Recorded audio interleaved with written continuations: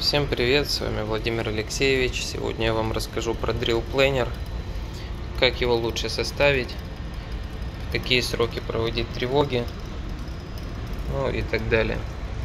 В общем, перед нами Drill Planner на 21 год и на 20. Перед тем, как вы закрываете старый планер, у вас уже должен быть новый, либо компания присылает, если там какие-то апдейты, ну, либо же берете старый, который имеется, бланк без этих желтых квадратиков. Ну и начинайте их расставлять. Вы должны всегда брать как референс старый планер. К примеру, вот тут написано, что тревоги ниже играются раз в год. To complete cycle in 12 months.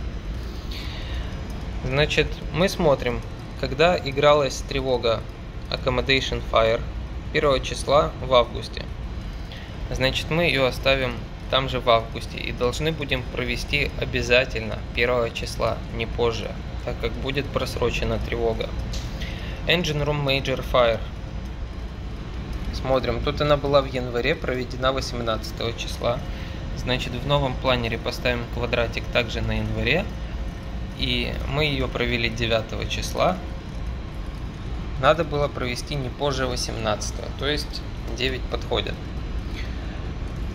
Ну и в общем с годовыми тревогами точно так же все. Данные тревоги проводятся раз в два месяца. Принцип тот же. Смотрим старый планер, берем новый. Так как они все структурированы. Раз в два месяца такая вот сетка, она и будет повторяться. Главное придерживаться вот этих вот чисел. Но тут мы уже смотрим по последней проведенной тревоге.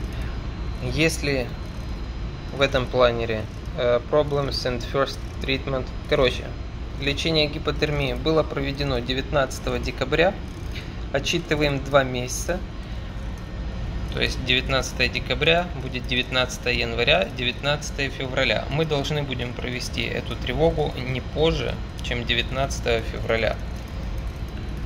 Ну и так дальше. А каждые 6 месяцев проводятся эти тревоги. Смотрим.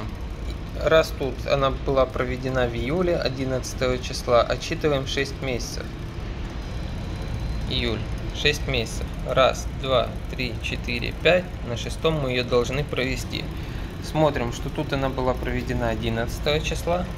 Тут она должна, значит, быть проведена до 11. Была проведена 2. Условие сохраняется.